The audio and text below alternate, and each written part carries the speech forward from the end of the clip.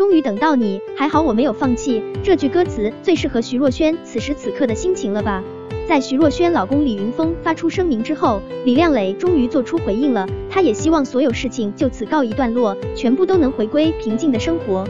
不得不说，才女就是才女，又是长篇大论。从一开始，他也没有想过要这样互相撕来撕去。所有人都认为他对孩子的父亲太狠了。俗话说，一日夫妻百日恩，是什么原因让他撕下去的呢？最主要的还是王力宏从头到尾都没有给他一句发自内心的道歉。这应该是李亮磊的最后一次发文了。他直言，要不是看到三个孩子的份上，遇到这样令人无助又心碎的事情，很难活到今天。怎么说，他也是三个孩子的爸。我本意不是想用这种方式来报复他，只是他欺人太甚，我才不得已而为之。在李亮磊看来，三个孩子的健康成长很重要，他也不希望大人的感情事牵连到小孩，也想三个孩子有爸爸的陪伴。但王力宏一直都意识不到自己的错，一而再，再而三的挑战他的底线，才走到一发不可收拾的地步。不想小孩长大后看到这些新闻，认为他是一个软弱的母亲，所以才拿出真理来为自己维权。都说爱越真，恨越深。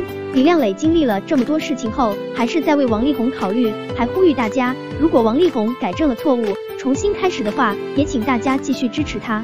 但他没有想到的是，是他自己把曾经最深爱的人推向了万丈深渊，想要从头来过，应该有点困难。李亮磊还提到，为何不起诉王力宏，并不是因为要他的房子。现在王力宏答应把房赠与他，但他完全不接受，也再次强调，从头到尾都不是为了钱，也不是为了报复，只是想把婚后的真实生活告诉大众。最主要的是让王力宏知错能改。关于财产问题，李亮磊表示会通过走司法程序来维权，只拿属于自己的那一部分，不是自己的他绝不要求要，也不需要任何人可怜，一切都按程序来。长文的最后，李静蕾也向所有无辜被牵扯进来的人说了声抱歉。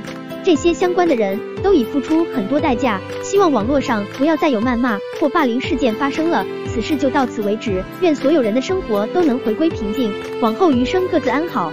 希望李亮磊的愿望会实现，抚平内心的伤痛，岁月静好，一切都能变好。